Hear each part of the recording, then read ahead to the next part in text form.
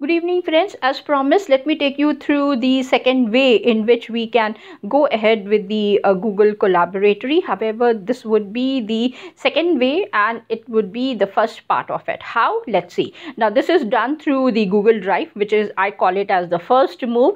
In this, it the, follow the following, I mean the steps are being given to you and you can follow very easily each one of them and you can go ahead and you can log into the Colaboratory. How to do it? Let's see it. It is log into the Google account, go to the Google Drive, click on the new button present on the left hand side of the screen, scroll down, check out for connect more apps, search for colaboratory, select it and install it. Isn't it as simple as that? It's a very easy process. You don't have to, there are no rocket science. That's what I want to say and you can proceed further. So this is the first move to go ahead after the direct link. In case you don't want to search, you don't want to spend your time in that, go ahead with this and it is present in the Google Drive. So let me come back with the second move and we can check it out also. Till then, thanks and take care. Bye.